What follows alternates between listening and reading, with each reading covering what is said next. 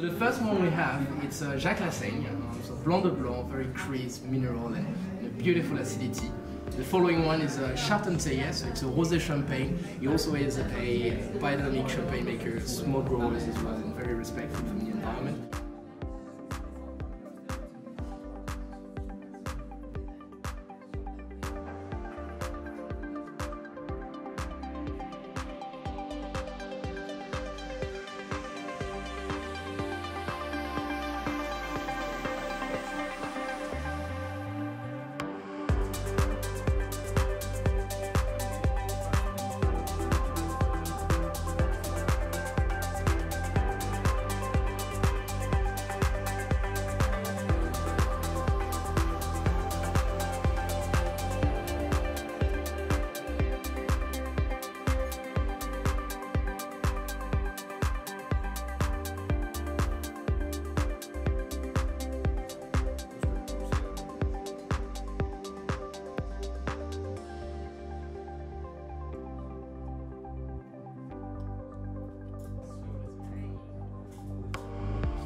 Which we slice very thinly and salt and then put on top of a spiced uh, oil made from Thai basil and coriander with a little hint of finger lime underneath also, topped with macadamia nuts and then all the way on top I put a little bit of snow made from nashi pear and yuzu.